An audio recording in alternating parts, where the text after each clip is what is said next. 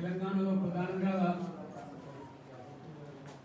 ఊసర వెళ్ళింది మనిపించే రీతిలో రంగులు మార్చే రాజకీయాలు జరుగుతూ ఉన్నాయి.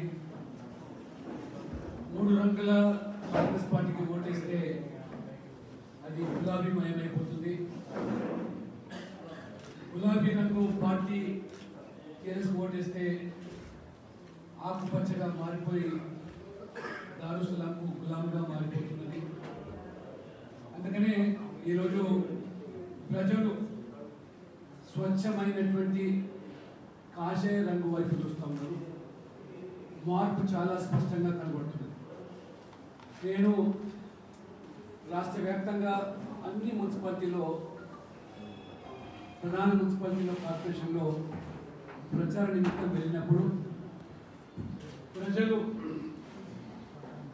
టీఆర్ఎస్ పార్టీ పట్ల విసిగిపోయినామని రాష్ట్రం ఏర్పడిన నుంచి జరిగిన ఎన్నికల్లో టీఆర్ఎస్ నమ్ముతూ వచ్చాం. ఇచ్చిన నా హామీలు అమలు చేస్తున్నటువంటి నమ్మకంతో ఓట్లు వేస్తూ వచ్చాం. మొన్న పార్లమెంటు ఎన్నికలతో స్పష్టమైపోయింది ఇచ్చినటువంటి హామీలు. కొలువులు ఇవ్వలేని వారికి నిరుద్యోగం వృత్తి అన్నారు. అది కూడా ఎన్నికల తర్వాత పూర్తిగా దాన్ని విస్మరించారు. రైతు బంధు ఎన్నికల ముందు రైతు బంధు ఎంతో రైతులకు బంధువుగా భావించే బంధు పథకం ఎన్నికల తర్వాత బంద్ రైతు రుణమాఫీ ఆగిపోయింది. పేదల సొంతింటి కళ అది కలగానే మిగిలిపోయింది. కళ్యాణ లక్ష్మి షాదీ ముబారక్ పథకాలు కూడా సంవత్సరం పూర్తయిన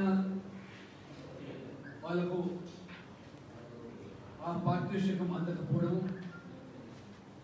అమ్మాయి పెళ్ళి పందిరిలోనే కేసీఆర్ కానుకగా లక్ష పదహారు రూపాయలు ఇస్తామని చెప్పినటువంటి వాళ్ళు. పెళ్ళి అయిపోయిన అమ్మాయి తల్లి అయినప్పుడు కూడా ఇంతవరకు కళ్యాణికి రావడం లేదు.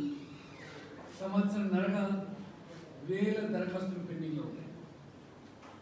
ఇచ్చిన హామీలు నిలబెట్టుకోలేక ఈ ఎన్నికలో ప్రచారానికి ముఖం చెల్లక రాలేక తండ్రి కొడుకులు ఇద్దరు ప్రచారానికి రాము మంత్రులకు టార్గెట్ ఇచ్చామని చెప్పి సీటు ఓడిపోతే మంత్రి పదవి ఊడిపోతే అని చెప్పి బెదిరింపు రాజకీయాలకు లాలూచి రాజకీయాలకు ఇవాళ తెరదీసి ఈ మున్సిపల్ ఎన్నికల్లో గెలవడానికి మస్జిస్తో కుట్రలు పన్ని మతాన్ని అడ్డం పెట్టుకొని ఈరోజు ఎన్నికల్లో గెలవడానికి చేస్తున్న ప్రయత్నాలను ప్రజలు ఈరోజు బొమ్మ చేస్తారని నేను భావిస్తూ కేటీఆర్ గారు అంటున్నారు వాళ్ళు. కౌన్సిలర్లు కార్పొరేటర్లు తెలిసిన వాళ్ళు పీకేస్తాను కౌన్సిలర్లు కార్పొరేటర్లు కానీ వాళ్ళ కేటీఆర్ని మున్సిపల్ మంత్రి నుంచి పీకేసే పరిస్థితి వస్తుంది. మొదటి ప్రభుత్వంలో మున్సిపల్ శాఖ మంత్రి నుండి ఉరకబెట్టి దిమిటి అన్ని మున్సిపాలిటీల పట్టణంలో అండర్ రోడ్ డ్రైనేజ్ సిస్టమ్ తీసుకొస్తామన్నారు. ఒక్క మున్సిపాలిటీలో కూడా అది అమలుకు నోచుకోలేదు. ఆ రకంగా కనీసం పారిశుద్ధ్యాన్ని కూడా కాపాడేది మీరు. డెంగ్యూ వ్యాధులు విష జ్వరాలు అంటువ్యాధులతో ప్రజలు చనిపోతుంటే సోయి లేకుండా మరి ప్రభుత్వం నిస్సహాయత వ్యక్తం చేస్తుంటారు ఈ రకంగా పట్టణాలన్నీ కూడా అధ్వానమైన రోడ్లు. ఎక్కడ చూసినా పట్టణాల్లో మురికి నీరు. తాగడానికి కూడా కనీసం రక్షిత నీటి కూడా కల్పించలేదు ప్రభుత్వం భగీరథ ద్వారా నల్ల నీళ్ళు ఇంటికి ఇవ్వకపోతే ఓట్లాడమన్న మీరు మళ్ళీ ఓట్లాడడానికి వస్తున్నారు అని ప్రజలు ప్రశ్నిస్తారని దానికి ముఖం చెల్లక తప్పించుకొని వాళ్ళ అవాకులు చెవాకులు పెట్టారు. కేంద్రం ఏమిచ్చింది గుడ్డు సున్నాట్లో? నేను రెండు రోజుల నుంచి సవాల్ చేస్తా ఉన్నాను. రమ్మన్న చర్చకు ఎక్కడికైనా సిరిసిల్లకైనా దేనికైనా. కానీ ఇవాళ తప్పించుకొని ఇవాళ దావోస్కు పారిపోతుంది. నిజామాబాద్లో బోధనలో కూడా చెప్పారు కేంద్రం ఎందుకు నిధులు నీవు తప్పించుకొని తిరుగుతున్నామని ప్రజలకైనా స్పష్టం చేసే బాధ్యత మనకి ఎట్లా ముఖ్యమంత్రి సొంత ఊరు. కేటీఆర్ గారి తండ్రి అంటే వారి తాత సొంత ఊరు. ఏదైతే ఉందో చింతమడక గ్రామం. ఆ చింతమడక గ్రామంలో ప్రజలు ఎనిమిది లక్షల రూపాయలు పన్నులు కట్టే రాష్ట్రం విధిలించింది మౌలిక సదుపాయాల కోసం ముఖ్యమంత్రి సొంత ఊరు ఆరు లక్షల రూపాయలు. కానీ కేంద్రంలో నరేంద్ర మోడీ ప్రభుత్వం ఉదారంగా బీజేపీకి ఓటు వేసిందా లేదా అని కాకుండా తెలంగాణ ప్రజల అభివృద్ధి కోసం సంక్షేమం కోసం నలభై మూడు లక్షల రూపాయలు ఒక గ్రామానికి ఇచ్చిందంటే ఏ రకంగా పట్టణాలకు ఇవాళ పద్నాలుగో ఆర్థిక సంఘం సిఫార్సు మేరకు స్థానిక సంస్థలు ఇచ్చిన నిధులే తప్పితే రాష్ట్రం ఇవాళ స్టేట్ ఫైనాన్స్ కార్పొరేషన్ ఏర్పాటు చేసి ఒక చైర్మన్ ఏర్పాటు చేసి తప్పితే సభ్యులు లేదు దానికి బడ్జెట్ లేదు. ఒక రూపాయి కూడా ఇంత కాబట్టి ఇవాళ మీరు కేంద్రం ఇచ్చిన నిధులనే గండి కొట్టి బకాయిలు తీర్చుకున్నారు తప్పితే మౌలిక సదుపాయాలు అక్కడక్కడ ఇవాళ మరుగుదొడ్లో లేదా గ్రామాల్లో పట్టణాల్లో కొద్దిపాటి రోడ్లు కనబడుతున్నాయంటే అది నరేంద్ర మోదీ చొరవ అనే విషయాన్ని కేటీఆర్ గారు ఒకసారి తెలుసుకున్నాం ఒకసారి ప్రధానంగా కొన్ని అంశాలు మాత్రం ప్రస్తావిస్తాను. సొంతిల్లు కళ సాకారం చేయాలని ఆలోచనతో నరేంద్ర మోడీ దేశవ్యాప్తంగా ప్రధానమంత్రి ఆవాస్ యోజన పట్టణాల నుండి పేదల కోసం ఇల్లు మంజూరు చేస్తే ఈరోజు మీరు చూశారు. కోటి ముప్పై లక్షల మందికి ఇల్లు దాదాపు పూర్తయిపోయినాయి. పక్క రాష్ట్రం ఆంధ్రప్రదేశ్లో ఇరవై లక్షల ఇల్లు మంజూరు చేస్తే కేంద్ర ప్రభుత్వం ఎనిమిది లక్షల మందికి ఇల్లు పూర్తయిపోయింది. మన రాష్ట్రానికి ఎన్ని ఇల్లు కావాలంటే అంత సిద్ధంగా ఉన్న విడతల వారిగా చెప్పి మొదటి మూడు సంవత్సరాలనే రెండు లక్షల నలభై మూడు వేల ఇల్లు ప్రధానమంత్రి ఆవాస్ యోజన కింద మంజూరు చేస్తే మాకు ప్రధానమంత్రి ఆవాస్ యోజన ఇల్లు అవసరం లేదు. రెండు పడకల గదులు కడతాము. అని ఆ సంబంధించిన నిధులు ఏ రకంగా దారి మళ్ళించారో ఒక్క ఇల్లు కట్టిన పాపాన పోని ప్రభుత్వం ఈ కేసీఆర్ ప్రభుత్వం.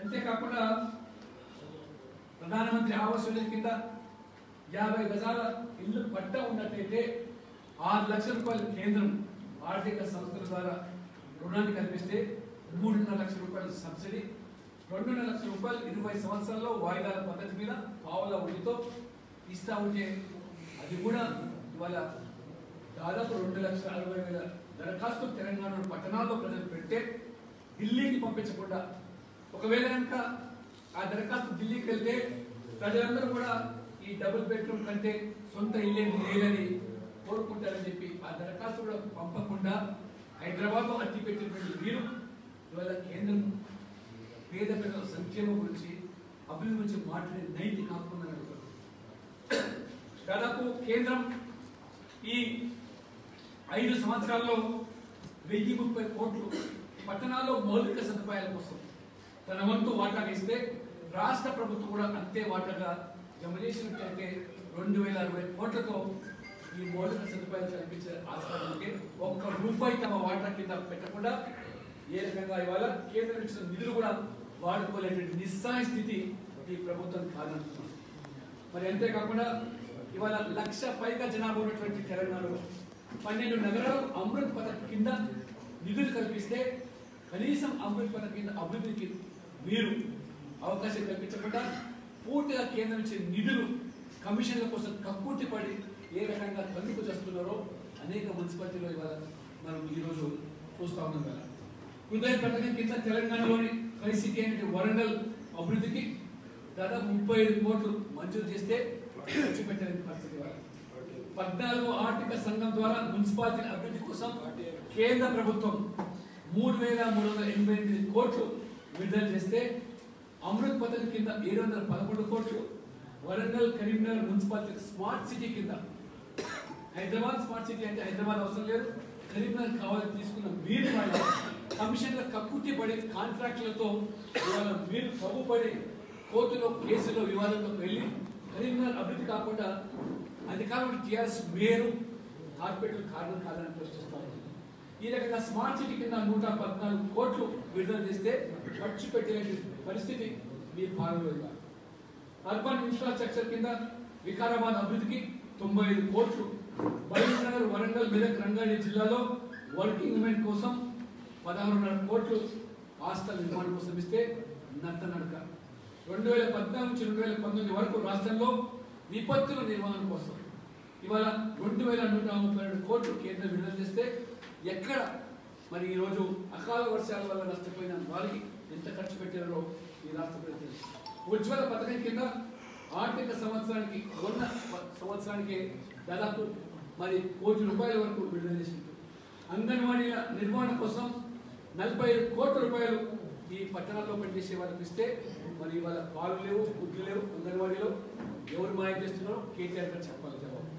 ఇవాళ అంతేకాకుండా ఆర్థికంగా అభివృద్ధి చెందుతున్న రాష్ట్రాల అభివృద్ధి కింద అంతరాష్ట్ర రోడ్ల అనుసంధానంలో భాగంగా తెలంగాణ రాష్ట్ర రహదారుల అభివృద్ధికి కేంద్ర ప్రభుత్వం ఇప్పటి వరకు ఎనిమిది వందల ముప్పై ఎనిమిది కోట్లు నిధులు చేసి. చేసింది రాష్ట్రంలోని ప్రాజెక్టుల నిర్వహణ కోసం పునరుద్ధరణ కోసం పునరావాసం కోసం కేంద్ర ప్రభుత్వం ఫేజ్ టూ అండ్ త్రీ కింద రాష్ట్రానికి ఆరు వందల నలభై నాలుగు కోట్లు కేంద్రం ఇస్తే వాళ్ళ గుండు సున్నా ఇచ్చిందని చెప్పి ఇవాళ కేసీఆర్ గారు ఏ రకంగా ఎగతాలు చేస్తున్నారో ఒకసారి అంకెలు సరిదిద్దుకోవాల్సిన కోరుతున్నాను ప్రధానమంత్రి మాతృ వందన యోజన కింద గర్భిణీ స్త్రీ ప్రసవం తర్వాత తల్లి బిడ్డ క్షేమంగా ఉండాలి. పౌష్టిక ఆహారం కల్పించాలని చెప్పి కేంద్ర ప్రభుత్వం మొన్న రెండు వేల పద్దెనిమిది పదహారు సంవత్సరానికి ఏడు కోట్ల రూపాయలు కట్టిస్తే దానికి కేసీఆర్ కేసీఆర్ కిట్స్ అని పెట్టి సొమ్ము కొట్టి సొమ్ము మీరు మార్చుకుంటే అది కేసీఆర్ కిట్స్ కూడా ఈ సంవత్సరం కూడా ఆపరేషన్ ఉండదు ఈ రకంగా రాష్ట్రానికి ఇప్పటి వరకు అసలు నేషనల్ హైవే అంటే కూడా దరిదా- దరిదాపులో లేనటువంటి తెలంగాణ ప్రాంతంలో మూడు వేల నూట ముప్పై కోట్ కిలోమీటర్ల రోడ్లను ఇవాళ నేషనల్ హైవేగా డిక్లేర్ చేసి అందులో దాదాపు ఇవాళ కేంద్ర ప్రభుత్వం మరి అరవై వేల కోట్ల రూపాయలు ఈ రాష్ట్రానికి ఇచ్చినటువంటి జరుగుతుంది అంతేకాకుండా ప్రధానమంత్రి గ్రామీణ సడక్ యోజన కింద గ్రామీణ ప్రాంతాలు కూడా మరి ఈ ప్రభుత్వం మూడో విడతలో తెలంగాణకు రెండు వేల నాలుగు వందల ఇరవై కిలోమీటర్ల మీద రహదారులు మంజూరు చేస్తే కిలోమీటర్కు డెబ్బై రెండు నుంచి ఎనభై రెండు లక్షలు రెండు వేల కోట్ల విలువతో ఈ రహదారుల నిర్మాణం జరుగుతూ ఉంటే రాష్ట్ర ప్రభుత్వం తన వంట వాటా లేకుండా గ్రామీణ ప్రాంతాలు కూడా రహదారులు ఈ దుస్థితి తెలంగాణ రాష్ట్రంలో మొట్టమొదటి మెగా ఫుడ్ పార్క్ను కేంద్ర ఫుడ్ ప్రాసెసింగ్ ఇండస్ట్రీస్ నిజామాబాద్ జిల్లా నందిపేట మండలంలో లక్కంపల్లిలో ప్లాంట్ని ఏర్పాటు చేసినటువంటి ప్రభుత్వం నరేంద్ర మోడీ ప్రభుత్వం. ఈ రకంగా రాష్ట్రంలో ఫుడ్ ప్రాసెసింగ్ యూనిట్లను నెలకొల్పుతామని కేసీఆర్ ఇప్పటి వరకు ఎన్ని యూనిట్లు నెలకొల్పారో ప్రజలు గమనిస్తాం ప్రభుత్వం వైద్య రంగానికి సంబంధించి హెల్త్ మిషన్ కింద వెయ్యి నూట ఎనభై నూట యాభై ఐదు కోట్లు విడుదల చేస్తే ఇవాళ ప్రభుత్వ ఆసుపత్రుల పరిస్థితి ఇంత దారుణంగా ఉంది. మీరు ప్రతి జిల్లా కేంద్రంలో సూపర్ స్పెషాలిటీ హాస్పిటల్ అన్నారు కానీ ఇవన్నీ కూడా ఏ రకంగా దారి మలుతున్నారు ప్రజలు గమనిస్తున్నారు. అందుకని ఈ రకంగా చెప్పుకుంటూ పోతే మరి ఈరోజు కొన్ని కోట్ల రూపాయలు ఈ రాష్ట్రానికి ఇస్తే కేటీఆర్ దానికి జవాబు చెప్పలేకుండా మీరు ఇవాళ పారిపోతూ నెపాన్ని కేంద్రం మీద మీ వైఫల్యాన్ని కప్పిపుచ్చుకోవడానికి కేంద్రం మీద నెపం పెట్టే ప్రయత్నాలు చేస్తున్నారు. ఇవాళ నిజామాబాద్ గవర్నమెంట్ మెడికల్ కాలేజ్లో యాభై నాలుగు పీజీ సీట్లు అదనంగా మంజూరు చేయడం జరిగింది. మన పార్లమెంట్ సభ్యులు అరవింద్ గారి చొరవతో వారి విజ్ఞప్తితో కేంద్ర ప్రభుత్వం స్పందించి ఈ రకంగా మరి ఇన్ఫ్రాస్ట్రక్చర్ డెవలప్మెంట్ కోసం కూడా మెడికల్ కాలేజ్ ఇవాళ సీట్స్ ఇంక్రీజ్ చేయడం జరిగింది. అంతేకాకుండా ఈరోజు మరి ఏదైతే టీఆర్ఎస్ పార్టీ ఈ ఎన్నికల్లో పూర్తిగా మున్సిపల్ ఎన్నికల్లో మజ్లిస్ పార్టీతో లోపాయికారి ఒప్పందం చేసుకోవడం. మొత్తం తెలంగాణ వ్యాప్తంగా కూడా మజ్లిస్ పార్టీ యొక్క విస్తరణ కోసం ఏదైతే ఈరోజు టీఆర్ఎస్ పార్టీ దూరపడుతుందో అందుకనే ప్రజలు మీరు గమనించి ఇవాళ ఈ స్థానిక సంస్థ ఎన్నికల్లో ఈ నిజామాబాద్లో చూస్తూ ఉన్నాను. బోధనలో చూశాను నిన్న నేను మైబునాలు వెళ్ళాను. ఎక్కడ పోయినా పొరపాటు టీఆర్ఎస్ పార్టీ ఓటేసి కౌన్సిల్ గెలిపిస్తే వీళ్ళంతా కూడా ఇవాళ దారు సలాంకు ఇవాళ వాళ్ళు జీవ్స్ అనే పరిస్థితి వస్తుంది. ఇవాళ నిజామాబాద్ మేయర్గా బోధన్ మున్సిపల్ చైర్మన్గా లేదా మైబునర్ మున్సిపల్ చైర్మన్గా ఈ పార్టీకి లోపాయికారిగా టీఆర్ఎస్ ఈరోజు ఎంఐతో ఒప్పందం చేసుకునే వార్తలు అందుతున్నాయి. టీఆర్ఎస్ ముసుగులో మజ్లిస్ పార్టీ ఏ రకంగా విస్తరిస్తా ఉన్నారు పాత పట్టణానికి పరిమితమైనటువంటి అసదుద్దీన్ ఓవైసీ హైదరాబాద్లో వారి నిర్వాహకం వల్ల పాత పట్టణంలో ప్రజలు ఉద్యమాలు చేసే దుస్థితి ఒక వర్గం. ఆ పరిస్థితి వల్ల ఏ రకంగా బహింసాలో ఈ మస్జిద్ యొక్క మరి మత రాజకీయాల వల్ల మత రక్కసి ఓటు బ్యాంక్ రాజకీయాల వల్ల బహింసాలో అమాయకులు ఇల్లు చేసేటువంటి ఎందుకని నిజామాబాద్ ప్రజలు ఓదరి ప్రజలు ఆలోచన చేసుకోవాలి వివేకంగా ఆలోచన చేసి అభివృద్ధి అజెండా లేదా సభ సంక్షేమ ఎజెండాతో నరేంద్ర మోడీ అమిత్ షా నేతృత్వంలో ఏదైతే ఇవాళ అవినీతి రహిత పాలన కొనసాగుతుందో వారికి ఇవాళ మీరు ఏమాత్రం కూడా మంచి అవకాశం ఇవ్వకుండా ఉండాలంటే అది టీఆర్ఎస్ కేసినా కాంగ్రెస్ కేసినా ఇంకెవరు కేసినా అది మస్తిష్కు చెందుతుంది కాబట్టి మరి ఈ ప్రజలందరూ కూడా రాష్ట్రంలో అప్రమత్తంగా ఉండి ఈ కాంగ్రెస్ మస్జిద్ యొక్క మరి దుష్ప్రచారాన్ని తప్పుడు ప్రచారాన్ని తిప్పికొడుతూ దేశ హితం కోసం పౌరసత్వ సవరణ బిల్లు తీసుకొస్తే భారతదేశంలో ముస్లింలకు వ్యతిరేకమని భారతదేశంలో ముస్లింలను పంపిస్తారని తప్పుడు ప్రచారాన్ని వక్ర భాషను చెప్తున్న వారికి ఈ స్థానిక సంస్థల పట్టణ ఓటర్లు బుద్ధి చెప్పాల్సిందిగా కోరుతున్నాను ఇవాళ చాలా స్పష్టంగా అమిత్ షా చెప్పారు ఇది నరేంద్ర మోడీ ప్రభుత్వం ఈ భారత పౌరులకు ఎవరికీ వ్యతిరేకమైన బిల్లు కానీ కాదు. ఇది భారతదేశంలో ఉన్న హిందువులైనా ముస్లింలైనా ఏ వర్గం అయినా వారికి సంబంధించిన బిల్లే కాదు. పాకిస్తాన్ లేదా బంగ్లాదేశ్ ఆఫ్ఘనిస్తాన్తో వారు మత హింసకు మత వివక్షకు గురైనటువంటి వర్గాలు కొత్త చేతన పట్టుకుని దశాబ్దాల కింద వచ్చి శరణార్థులు అవుతున్న వారికి మైనార్టీలకు ఈ యొక్క వారసత్వ బిల్లు తప్పితే ఇతరత్ర కాదు. ఇవాళ ఎన్టీఆర్ అవుతుందో జనాభా లెక్కలు తీసుకునే ప్రక్రియను కూడా కేసీఆర్ పట్టడం మీరు సమగ్ర కుటుంబ సర్వే చేస్తే అది ఒప్పవుతుంది బీజేపీ చేస్తే తప్పవుతుంది. కాబట్టి ఈ రకంగా తప్పుడు భాష అని చెప్పి ప్రజలు తప్పుదో పట్టించే ఏదైతే ప్రక్రియలో నేను సూటిగా మధ్యస్ పట్టినట్టు. ఇవాళ కేటీఆర్ అడుగుతున్నాను కేసీఆర్ అడుగుతున్నాను ఎందుకు మీరు పార్లమెంట్లో బిల్లు వ్యతిరేకం చేశారు? ముస్లిం పదం లేదనే దాని మీద నెపంతో వ్యతిరేకం చేశామంటారు మీరు? ఏ ముస్లిం పదం లేదని? పాకిస్తాన్ ముస్లిం పదం లేదనా బంగ్లాదేశ్ ముస్లిం పదం లేదనా వ్యతిరేకించారో?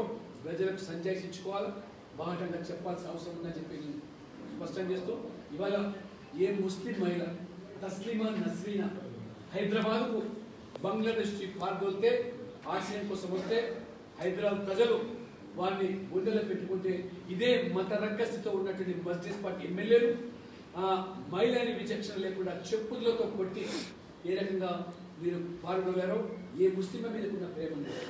కాబట్టి మీకు ఉన్నదల్లా మీకు అధికార దాహము లేదా ధన దాహము లేదా రాచరిక వ్యవస్థ తప్పితే మీకు ఎవరి మీద ప్రేమ లేదు కాబట్టి వారికి లొంగిపోయినటువంటి కేసీఆర్ కూడా ఎన్నికల బుద్ధి చెప్పాలని కేటీఆర్ గారు మున్సిపల్ మంత్రిగానే పూర్తిగా ఫెయిల్ కాబట్టి భజన పరులు ఇవాళ మీరు ముఖ్యమంత్రి కాబోతున్నారని చెప్పి ఆ రకంగా భజన చేస్తే చేయొచ్చు కానీ మంత్రిగా ఫెయిల్ మరి కేటీఆర్ గారు ముఖ్యమంత్రి అది వాళ్ళు ఇష్టం. కాబట్టి దయచేసి ఇప్పటికైనా ఈ టీఆర్ఎస్ ఎమ్మెల్యేలు ఎవరైతే ఈ ప్రాంతంలో వాళ్ళంతా కూడా టీఆర్ఎస్ ముసుగులో ఉన్నటువంటి మస్జిద్ ఎమ్మెల్యేలు మాత్రమే అజెండా అమలు చేసేటువంటి ప్రజాప్రతినిధులు. అది నిజామాబాద్ అయినా ఇవాళ బోధన అయినా వేరుకు టీఆర్ఎస్ కానీ ఇవాళ మస్జిద్ అజెండాను అమలు చేసేటువంటి ఎమ్మెల్యేలు కాబట్టి దీన్ని ఎదుర్కోవాలంటే బీజేపీ జెండా కింద ప్రజలందరూ కూడా ఏకం కావాల్సిన అవసరం ఉందని చెప్పి పిలుపునిస్తూ మరి ఈ రోజు భారతీయ జనతా పార్టీ ఒక చక్కటి ఇవాళ మేనిఫెస్టోతో షార్ట్ షీట్ వైఫల్యంతో ప్రజల ముందుకు వస్తుంది. ప్రజల నిర్ణేతలు డబ్బుకు మద్యానికి లోకకుండా మరి ఈ యొక్క ఆరు సంవత్సరాల పాలన పట్ల ఈ కుటుంబ పాలన అవినీతి పాలన నియంత్రణ పాలన ఇవాళ స్వస్తి పలకడానికి కమలంపు గుర్తు బీజేపీని గెలిపించాల్సిందిగా నేను విజ్ఞప్తి చేస్తాను